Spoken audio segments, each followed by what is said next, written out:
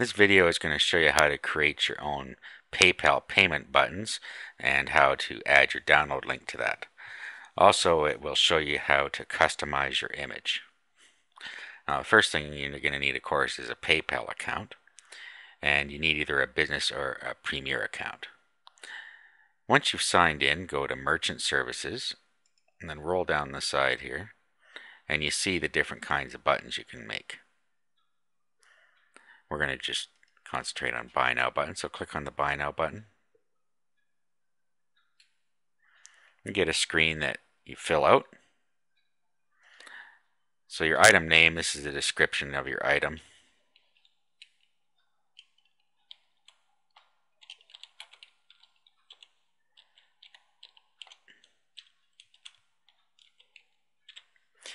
You can give it an item number. That's optional. In there. The price you're going to charge. And the currency. And you can pick any of these currencies that they give you the choice of in here. Buyer's default country. This just sets the default of what PayPal thinks the buyers are coming from, the country they're coming from. Usually you might want to set that to United States because that's probably where most of the buyers come from.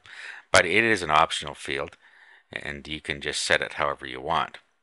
All it does really is it sets the parameters on the page and they would have to change a country if they're not from the country you chose there. You can have an optional weight here if your product is a physical product. Now here you can choose one of PayPal's predefined buttons. You can either use the default button or you can click on the link and you can pick any of their buttons here if you want to change it.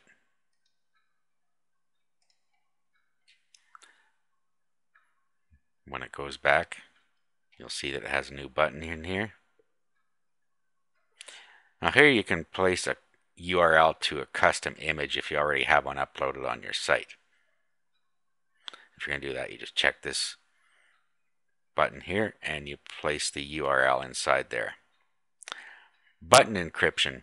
This is so somebody can't view the source of your website and find your download link. So you should have it encrypted. If you're not sending them to a download page, it doesn't matter whether you have it encrypted or not. Shipping options. You can set up in your profile a shipping table and tell them how much shipping will be in there. Or you can use a flat rate amount if you're going to ship it and you just check this and you put how much it is here. If you don't put anything in there in your table, in your profile, then no shipping will be charged. Then your sales tax options. You have the same thing here. In your profile, you can set up how you're going to shoot, how you're going to charge sales tax or you can put a flat rate amount in here. Now at this point you can either create the button or add more options. If you're going to send them to a download page, you're going to want to add more options.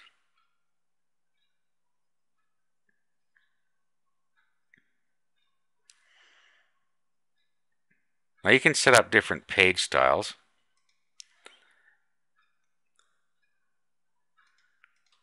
And we'll go over that in a minute. But if you just leave it as default, it'll just use PayPal's colors on there and you'll use the standard PayPal page.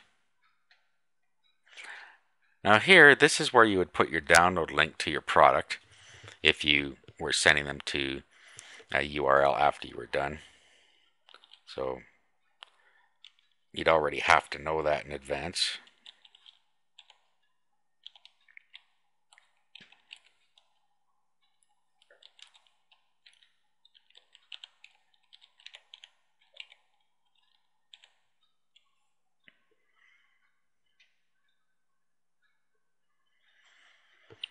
If they cancel their payment, you'd want to probably send them to your back to your home page, or you can send them anywhere else you want. Doesn't matter.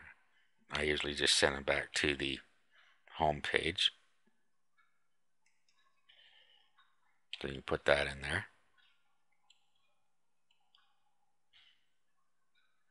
This is where you set up your shipping preferences.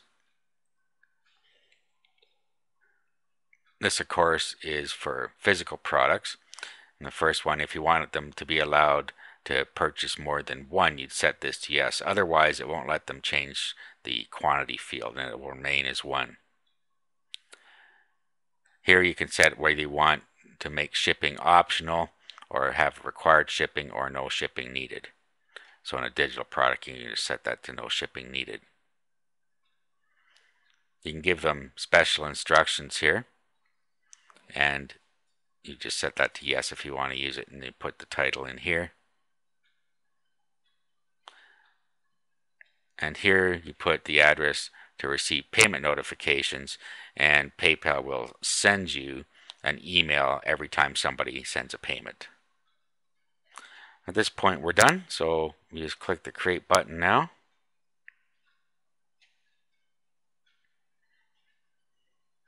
And you get an encrypted HTML code for your websites here. And all you have to do is click select all and then copy it. And usually what I do at this point is I open Notepad and I paste it in here so that I have the code handy. That way I can leave PayPal and have my my button all ready to go. Here you'll see this begin PKCS7. This is the encryption. And this is what people will see when they view the source in your page. And that doesn't tell them anything as to where your download page might be. At this point, you can go ahead and create another button. If you were going to create a button for a special offer, for instance, for the same product, you might want to create the same button again, but with a different price on it. So you could just go back, create another button, at this point, you could create a whole new button if you wanted, or if you were creating just another copy of this button with a different price, you could just do that. Go to add more options. And this will all have been kept for you. And then just create button now. And it will create another button. Now let's go into our profile and go over a couple of those things we talked about before. We talked about uh, how we're charging sales tax. So you just go into your profile and you go into the sales tax section and here you can set how you're going to set up your domestic sales tax if you're going to charge sales tax. And then if you have international sales tax, you set it here. Shipping preferences and calculations. First we're going to calculations. And this is where you can set up a table, either a flat amount or a percentage of sales, and then your currency here. Then down here you set up your table.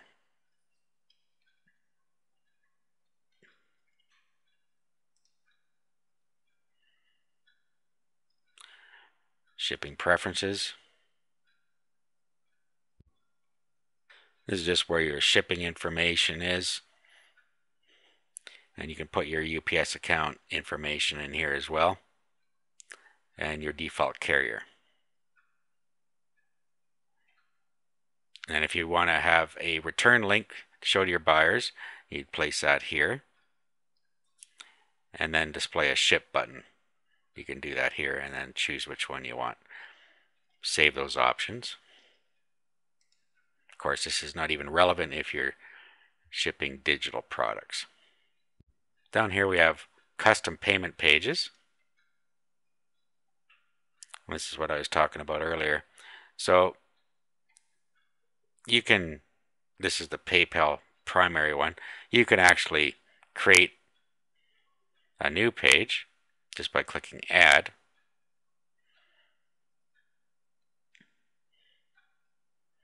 You give it a style name.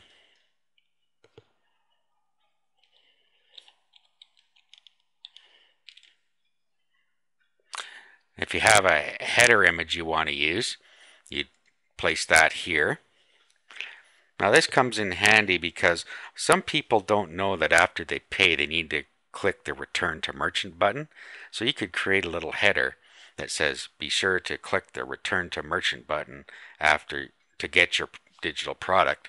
You could make a little header that says that and put a link here to that so that every time somebody pays, they will see that. Your header background color. Basically, it's just like customizing an HTML page. And these are standard hex code colors. They can get off any color chart. So you just set all your colors here and you save your page. That will then be available on the drop down list in your payment when you create your payment buttons. The last thing we'll do is we'll customize the image on the button we just we just created.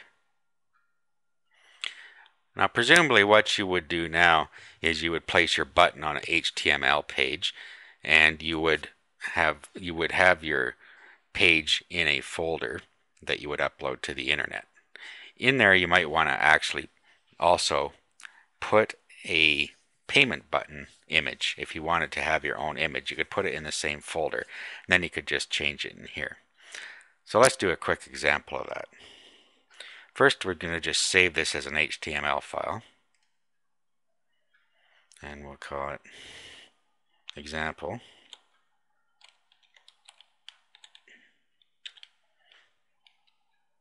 .html.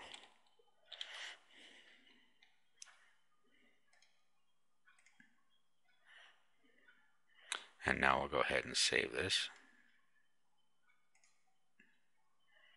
And you'll see that it's now been named example. So if I were to click on this now, you see that we have our payment button here. And that's all we have on this particular HTML page. And if we click on this button,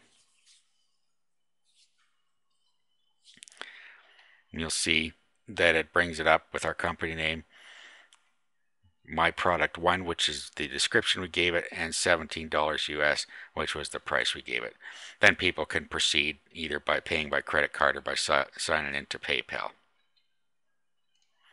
And then if we view the page source, view page source, you'll see that we have our encrypted button here, and that's all that's on there. Now, if we wanted to change the image, we would put this into its own folder and put the image in there as well. Or if you were uploading your site to the root directory of your hosting account, you would also load the picture into the root directory. Or you could load the picture into any other directory and link to it in the URL. But it's easy just to keep them together. So I'm going to do that now. Okay, so I've created a new folder just called test here. And inside there I've copied the example HTML page we just made, which in this case only has a button on it. So as you can see, our example.html is in here. So all we need to do is place the image in here as well. So we'll go find an image to use. All right, so I found a button we're going to use. And here's what it looks like here. Now all you have to do, very simply, is do, you can open it with Notepad to change it. And all you have to do is go where it says image alt equals 0, border equals 0, source equals, and make sure at the end of it, don't change this one that says pixel.gif or your button won't work. Make sure you change the one that says something about button on it, which is this line here. So remove all of this highlight it all. So uh, right after it says image source equals, inside the quotes, highlight that and just put the name of your button in there. In our case, it was button 2 .jpg, I believe. Verify that. Button2.jpg.